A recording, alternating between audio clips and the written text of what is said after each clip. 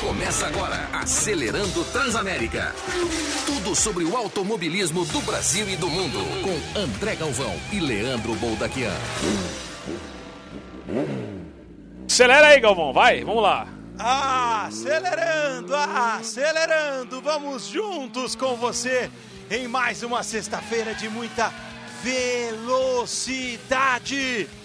Cá estamos nós novamente por aqui, eu, André Galvão e o Leandro Boldaquian, para trazer as últimas notícias do esporte a motor no mundo. É, por exemplo, tem etapa da MotoGP neste final de semana, né, Leandro Boldaquian? Boa tarde. Tudo bem, Galvão? Boa tarde. Boa tarde, amigo ligado na Transamérica, fã da velocidade, assim como nós. Pois é, temos a última etapa da MotoGP, o campeonato já está decidido. Joamir é o campeão, vai buscar mais uma vitória na temporada. A Stock Car Brasil, né, o Campeonato Brasileiro de Automobilismo, em mais uma etapa, a penúltima em Goiânia. Né, e aí depois nós teremos os descartes para ver realmente quem chega a Interlagos na última rodada com chance real de título né? E também brasileiros mundo afora. Temos notícias do Sérgio Sete Câmara é, integrando o grid da Fórmula E, né? Confirmado nessa manhã, vai correr pela Dragon. Enfim, muitas informações do mundo da velocidade, Galvão. É isso aí. Você pode participar conosco enviando sua mensagem via Twitter, arroba TR Esportes, e via o WhatsApp 997755354. 997755354. Capriche no seu recado, grave a sua mensagem, porque as melhores mensagens de áudio vão pro ar também aqui no nosso Acelerando Transamérica com Rafael Paco como piloto Transamérica na mesa de som, com Rodrigo Nascimento, nosso chefe de equipe de produção. Está no ar o Acelerando Transamérica, logo após o horário político, né? Por causa do segundo turno das eleições. Temos este horário alternativo para o Acelerando, do meio-dia e 10 ao meio-dia e 20, né? Mas isso só vai durar mais uma semana. Então, na próxima é, Segunda-feira será assim, depois na próxima sexta-feira será assim, mas depois vamos ter aquele horário padrão às segundas e às sextas, ao meio-dia, logo após é, o jornalismo da CNN em conjunto com a Transamérica, né? Coladinho, então, tem o Acelerando para você. Antes do Papo de Crack, primeira edição, que sempre é apresentado neste horário tradicional. Então, às segundas e às sextas-feiras, tá certo? E amanhã tem o um acelerante especial de sábado, das 11 ao meio-dia para todo o Brasil. Bom, começamos com Sérgio Sete Câmara na Fórmula E, né, Leandro Bol daqui. Brasil vai ter mais um integrante na Fórmula E, o Serginho Sete Câmara, né, filho do presidente do Atlético Mineiro. Ele será um dos pilotos titulares da Geox Dragon na próxima temporada da categoria de carros elétricos. O Sete Câmara foi piloto de testes, né, da equipe é, de Jay Penske na temporada passada e ganhou a titularidade no Festival de Berlim, naquelas últimas seis etapas que nós acompanhamos, né, o André Galvão no aeroporto de Tempelhof né, que foram é, é, seis etapas com três traçados diferentes, né, um para um lado, outro para o outro, aí depois cortaram uma curva lá, fizeram tudo para poder é, terminar na bolha de Berlim. Então, o brasileiro que é, também buscava uma vaga na Fórmula 1, né, não, não conseguiu, e agora opta pela categoria de carros elétricos em 2021, né, que o, o Brasil vai ter mais um representante. Já tem o de Graça, é, o Massa correu ano passado, não corre mais. Lembrando que a temporada começará em Santiago, lá no Chile, logo em janeiro, viu, Galvão? É isso aí, né? O Serginho Sete Câmara realmente é, tinha como melhor destino para ele a Fórmula E, né? Muita gente, claro, gostaria de vê-lo na Fórmula 1, ou numa Red Bull, ou numa AlphaTauri, claro que seria é, numa AlphaTauri, né, num primeiro momento, mas a verdade é que é, ele não tinha é, o patrocínio certo para entrar no grid da Fórmula 1. Né? A gente precisa também é, dizer que o Sérgio Sete Câmara disputou três temporadas de Fórmula 2 e não conseguiu ser campeão, né? Teve como melhor resultado um quarto lugar em 2019. Chegou a vencer corridas na Fórmula 2, foram três vitórias do Sérgio Sete Câmara no total na Fórmula 2, mas faltava aquele algo a mais, né? Para chegar na Fórmula 1. Em Macau, ele chegou próximo de uma vitória, conseguiu terminar em terceiro lugar uma prova em Macau de Fórmula 3, que é super tradicional, né? Nas categorias de base é muito valorizada, chegou no pódio, portanto, mas faltava aquele quesinho ali para chegar na Fórmula 1. Então, boa sorte para o Serginho Sete Câmara na Fórmula e... E, que ele consiga andar mais do que o carro, né? Porque o carro, infelizmente, não da é bom, Dragon é.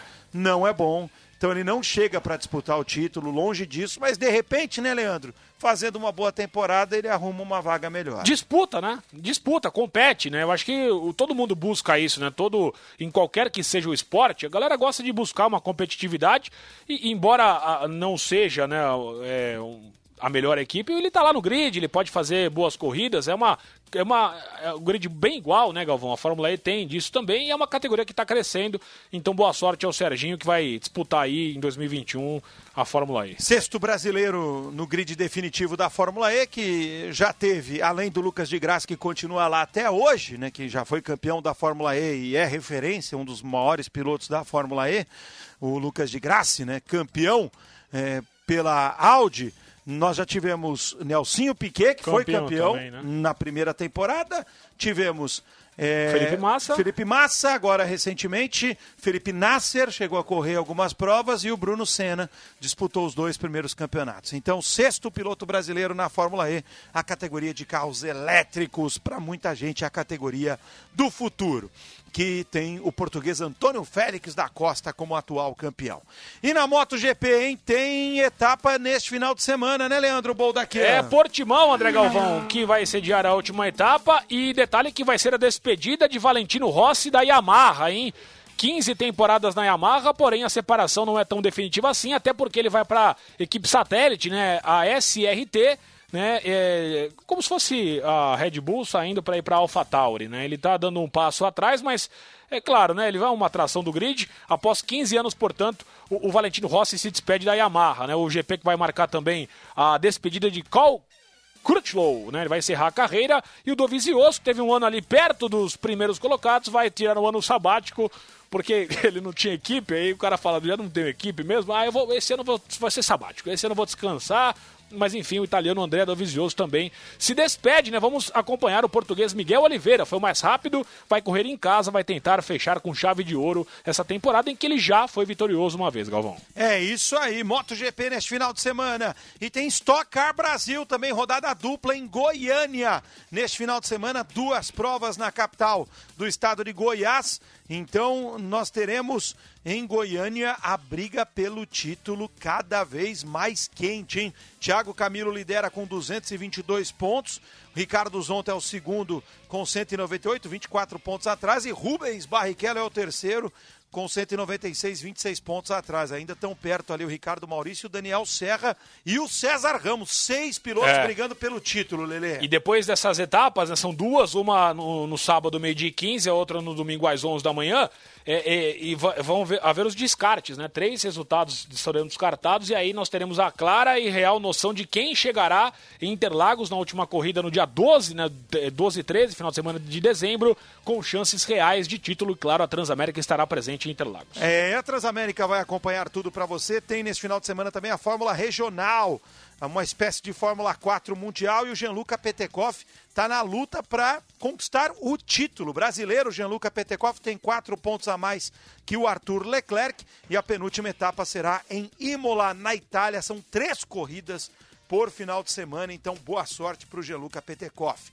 Olha só a galera participando do programa com a gente, mandando mensagem. Tem ouvinte, põe no ar, Rafael Paco.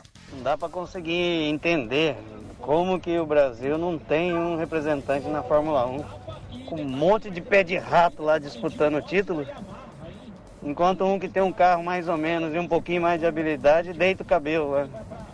Tá difícil, hein? Deita o cabelo é uma expressão que eu gosto bastante. E agora isso é explicado também, né, Galvão? Pela questão financeira. Tem muita gente lá que tá por conta de patrocínio, né? Isso é verdade. Mensagem do Omar de São José dos Campos pra gente. Bacana. O Eduardo Aguiar Silva também mandou mensagem. É, tem aqui o ouvinte perguntando a respeito do Pérez, se vai fechar com a Red Bull. Alexandre, olha, ainda não temos essa definição. Nem do Hamilton ainda está é, definido. A Red Bull não, não decidiu, pelo menos está com o discurso que não decidiu quem vai ser o companheiro do Max Verstappen. E o Ricardo de Martini, ele pergunta se nós temos notícias de Michael Schumacher.